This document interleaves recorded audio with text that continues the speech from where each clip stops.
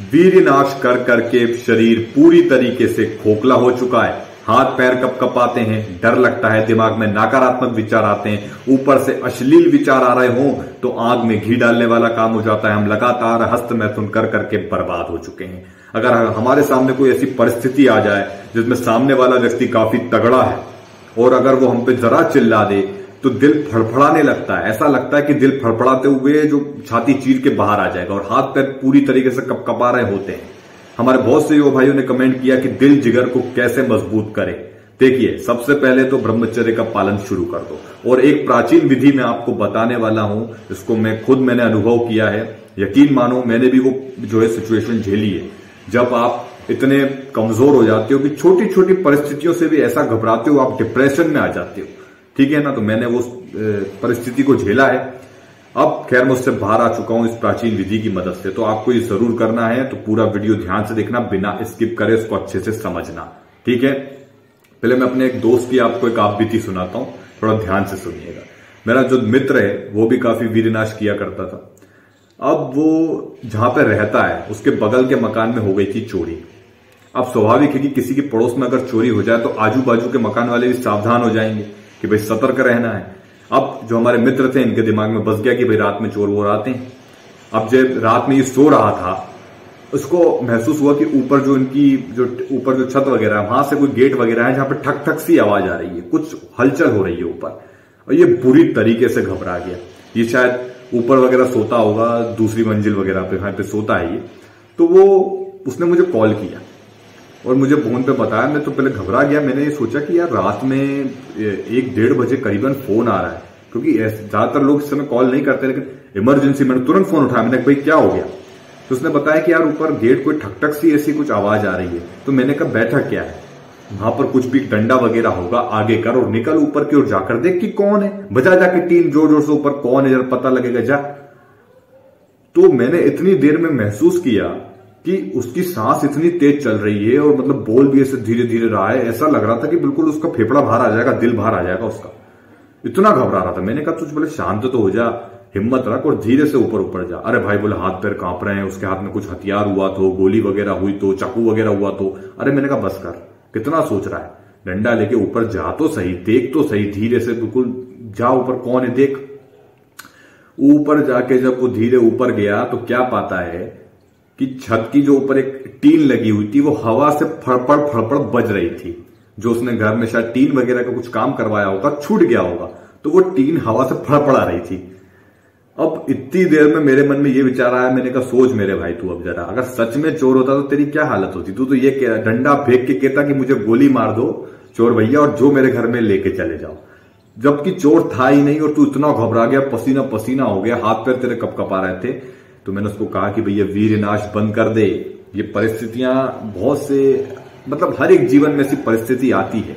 तब से अब वो शायद वीडियो देख रहा होगा और सुधर भी गया है, ब्रह्मचर्य का पालन कर रहा है, बहुत अच्छी बात है।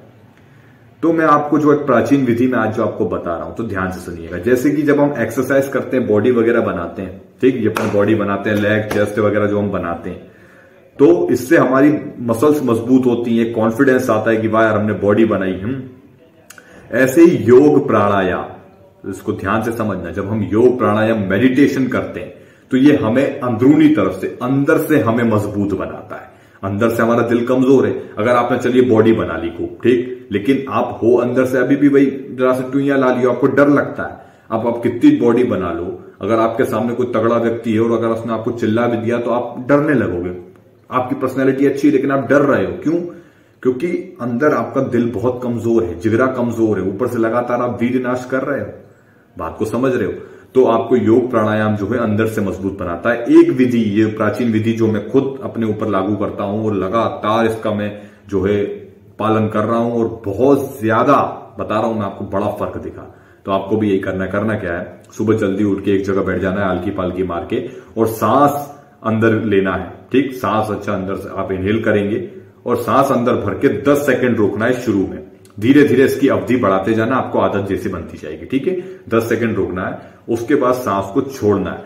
छोड़ने के बाद भी सांस एकदम भरना नहीं है, छोड़ देना है। सांस को छोड़ने के बाद भी दस सेकंड का होल्ड लेना है। जैसे आपने ये सांस छोड़ी, अब दस सेकंड का होल्ड लीजिए, ठीक? अब जब आप होल्ड लेंगे, उसके बाद 10 सेकंड का होल्ड लेने के बाद फिर सांस भरिए अंदर। और फिर 10 सेकंड का होल्ड लीजिए, फिर सांस छोड़िए। सांस छोड़ते हैं तो एकदम भरना नहीं है 10 सेकंड का वहाँ पे होल्ड लेना है और फिर सांस भरिए। धीरे धीरे जब आप इसका अभ्यास करोगे, आप पाओगे आपके दिमाग में बिल्कुल बिल्कुल भी विचार नहीं आते किसी भी प्रकार के, जब आप ये चीज़ करोगे तो। ठीक है ना? इसको आप करना और आप पाओगे धीरे धीरे आपका अभ्यास हो जाएगा, आप जिगर से मज़बूत होने लगोगे। जी हाँ आपका दिल जिगर बहुत मज़बूत होने लग जाएगा, यकीन मानो।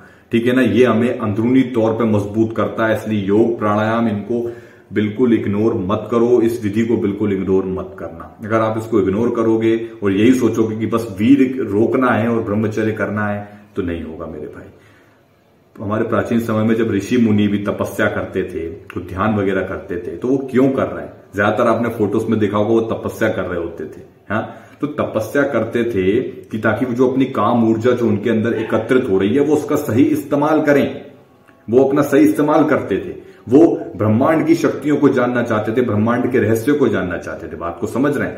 तो ऐसे ही हमारे अंदर जो काम ऊर्जा की ऊर्जा जो इकट्ठी हो रही है, उसका उपयोग करना है हमें। उसको रख के बैठे नहीं रहना कि वीर रुक गया, आज मज़ा आ गई, बस उसको पड़े हुए हैं। ऐसा नहीं करना। उसका उपयोग करना है। तो ये प्राणायाम योग वगैरह ज़रूर कीजिए। एक्सरसाइज वगैरह पर हम जल्द वीडियो लाएँगे। पहले लेग पर करेंगे वर्कआउट वगैरह, अपना बाइसेप वगैरह पे करेंगे चेस्ट वगैरह पे करेंगे, कुंभक के साथ हम करेंगे, देसी वर्कआउट्स करेंगे। ठीक है ना? तो एक एक करके सब पे वीडियो आएँगे। पॉइंट पॉइंट पे हम बात कर रहे हैं, ताकि ऐसा नहीं कि बस मोटिवेशन दे दिया, हो गया।